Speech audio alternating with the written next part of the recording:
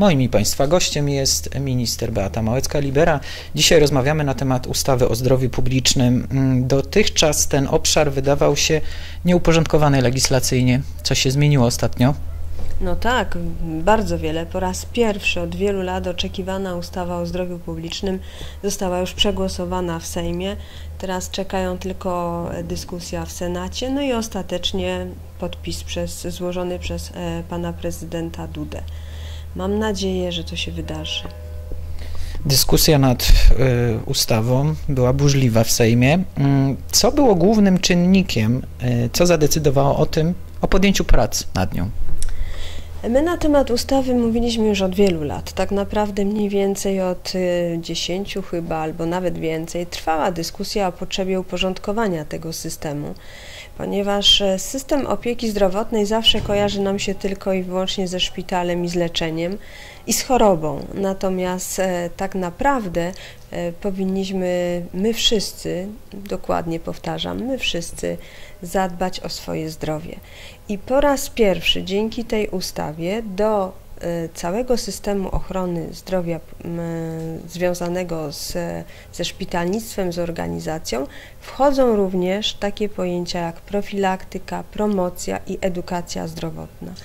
I to są e, rzeczy ogromnie ważne z tego względu, że mamy dwa wielkie wyzwania, przed jakimi stoimy, a mianowicie demografię, żyjemy coraz dłużej, jak również czynniki epidemiologiczne, czyli nieprawdopodobny wzrost chorób cywilizacyjnych, czy inaczej dietozależnych. Wynika to ze świadomości Polaków, która jest wciąż dość niska na temat zdrowego trybu życia, zdrowego żywienia, dostępu do medycyny. Nie chodzimy do lekarza, nie korzystamy z tych usług. Znaczy nie badamy się profilaktycznie, prawda? Nie, nie dbamy o swoje zdrowie wtedy, kiedy jesteśmy zdrowi. Nie doceniamy tego, tego zdrowia, e, natomiast w momencie, kiedy już zachorujemy, to wtedy rzeczywiście oczekujemy, żeby były najlepsze procedury, najnowsze technologie, jak najszybciej każdy z nas został przez, pacjent, przez lekarza zaopatrzony i słusznie, no bo tak to wygląda w rzeczywistości, jeżeli nam jest potrzeba e, pomocy fachowej. Natomiast prawdą też jest, że prawie 70% różnego rodzaju czynników, które oddziaływują na nasze zdrowie, zależą od nas samych. Bo to, czy y, żyjemy aktywnie, czy uprawiamy jakikolwiek wysiłek fizyczny, nie mówimy tu o sporcie wyczynowym, e, czy odpowiednio się żywimy, czy odpowiednio dbamy o, o swoje zdrowie psychiczne także jaki, jak reagujemy na czynniki zewnętrzne, bo przecież papierosy, tytoń, e, alkohol to są wszystko czynniki, które oddziaływują na nasz stan zdrowia. No a ostatnio jeszcze temat, który tutaj szczególnie u nas w Zagłębiu jest bardzo e, mocno podkreślany i bardzo ważny, to e, nasze czynniki zewnętrzne, czyli woda, powietrze i gleba. Mm, wspólnie z ministrem środowiska przygotowujemy teraz taki krajowy program ochrony powietrza, czystości powietrza z elementami i uwzględnieniem wpływu na nasze zdrowie.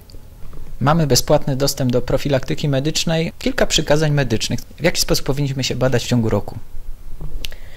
To też zależy, ile mamy lat, e, bo trudno to wszystko powiedzieć, że jednakowo, jednakowo, jednakowe standardy do wszystkich grup wiekowych.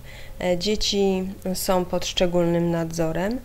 E, następnie jest ten okres, kiedy osoby pracują, są aktywne i są pod opieką tak zwanej medycyny pracy. Tutaj badania okresowe i badania wstępne i później e, w zależności od stanowiska pracy są wykonywane i mam nadzieję, że ta medycyna pracy rozwinie się jeszcze bardziej.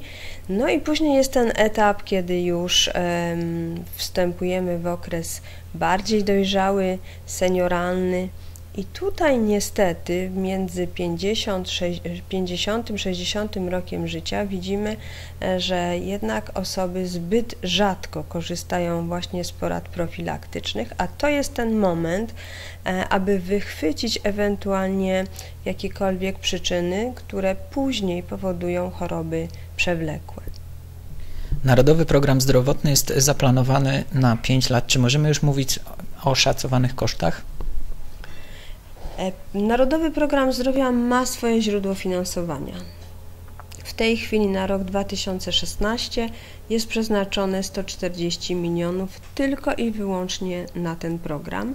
To nie znaczy, że nie ma innych miejsc finansowania, również profilaktyki czy edukacji. Oczywiście są, bo one są zarówno w budżecie ministra zdrowia, jak i w Narodowym Funduszu Zdrowia, bo część profilaktyki jest również stamtąd finansowana ale ekstra pieniądze, właśnie dodatkowe na realizację tego programu na rok 2016 wynoszą 140 milionów i będą rozdzielone na kilka bardzo strategicznych programów.